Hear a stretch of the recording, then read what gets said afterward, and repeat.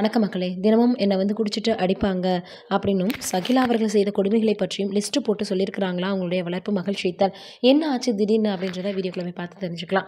ஷகிலாவினுடைய வளர்ப்பு மகளான ஷீத்தல் ஷகிலா தினமும் குடிச்சு விட்டு போதையில் தன்னை அடிப்பார் அப்படின்னு பரபரப்பு புகார் ஒன்று கொடுத்துருக்குறாங்க. மலையாள மற்றும் தமிழ் திரைப்படங்கள் நடித்தவங்க ஷகிலா. ஆரம்ப காலகட்டத்தில் மலையாள படங்களில் ஆபாசமாக நடித்து புகழின் உச்சிக்கு போனாங்க. பின்னர் அங்கே அவங்களுக்கு நடிக்க தடை விதிக்கப்பட்டதை தொடர்ந்து தமிழ்நாட்டுக்கு வந்து செட்டில் ஆனாங்க. இங்கே தமிழ் திரைப்படங்களில் குணச்சித்திர வேடங்களில் நடித்து வந்தாங்க. இதையடுத்து பட வாய்ப்புகள் படிப்படியாக குறைந்ததை அடுத்து குக் வித் கோமாளி அப்படின்ற சமையல் நிகழ்ச்சியில் கலந்துக்கிட்டாங்க அந்த நிகழ்ச்சி நடிகை ஷக்கீலாவின் இமேஜை டோட்டலாக மாற்றிடுச்சு.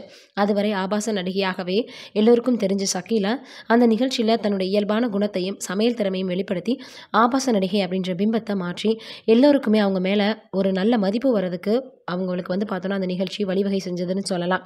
அதோட பெற்றோர்களால் ஒதுக்கப்பட்ட திருநகைகளை தத்தெடுத்து வளர்த்து வந்தாங்க ஷக்கீலா.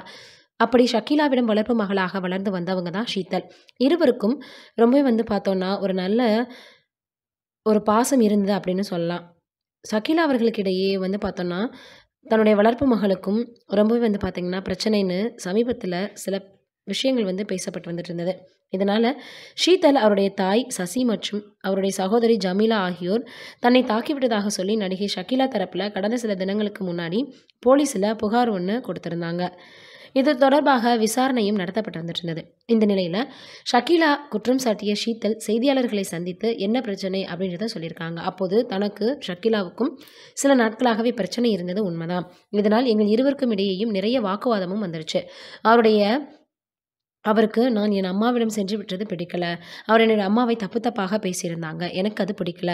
ஷக்கீலா அவருடைய நண்பர் தங்கம் என்பவரின் மூலம் என்னை வீட்டுக்கு வர சொல்லி கட்டாயப்படுத்தினாங்க. நானும் வளர்த்தவர் என்கிற முறையில் அங்கே போனேன். ஆனால் அவரிடம் பேசாமலேயே நான் வந்துட்டேன். மறுபடியும் அவர் என்னுடைய அம்மா சகோதரி மற்றும் என்னை மிகவும் அசிங்கமாக பேசினாங்க.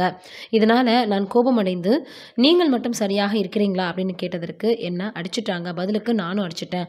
ஷக்கீலாவின் வழக்கறிஞர் சௌந்தர்யா என்னிடம் வந்து ஷக்கீலாவிடம் மன்னிப்பு கேட்க சொன்னாங்க. நான் முடியாதுன்னு சொன்னதும் இருவருக்கும் வாக்குவாதம் ஏற்பட்டுருச்சு. அப்போது கையில் கிடைத்த ஒரு பொருளை எடுத்து என்ன அடித்தாங்க சௌந்தர்யா. ஆனால் நானும் அவங்கள அடித்தேன் அவங்க என் தாயின் தலைமுடியை பிடித்து இழுத்ததால் என் சகோதரியும் நானும் சேர்ந்து அவங்கள தடுத்தோம். இதையெல்லாம் ஷக்கீலா உட்காந்து வேடிக்கை பார்த்துட்டு இருந்தாங்க. அவங்க என்னை அடித்த காரணத்தினால தான் நாங்களும் அடித்தோமே தவிர வேணும்னே யாரையுமே நாங்கள் தாக்கலை. அனைவரும் குடிபோதையில் இருந்ததுனால மிகவும் தவறாக பேசினாங்க. பின்னாடி மன்னிப்பு கேட்க சொல்லி ஆண்களை அனுப்பி மிரட்டினாங்க. போலீசிடம் போய் புகார் கொடுப்போம்னு சொன்னாங்க. பின்னர் போலீசிடம் சென்றபோது அவர்கள் இருவரும் சுமூகமாக பேசி பிரச்சனையை முடித்துக்கொள்ளுமாறு அறிவுரை கொடுக்குனாங்க. நாங்களும் மன்னிப்பு கேட்க சம்மதிச்சோம். ஆனால் அவர்கள் எங்கள் மீது புகார் கொடுத்ததால் தற்போது நாங்களும் புகார் கொடுத்துருக்கோம். ஷக்கீலாவுக்கு தினசரி குடிக்கும் பழக்கம் இருக்கு. குடித்துவிட்டு போதையில் என்னை அடிப்பாங்க அப்படின்னு ஷீதல் அப்போது சொல்லியிருக்கிறாங்க. இது இப்போ மிகப்பெரிய அளவில் சமூக வலைதளங்களில் வைரலாக பரவி வந்துட்டு இருக்கு. இது எந்த அளவுக்கு உண்மை அப்படின்றது தெரியல.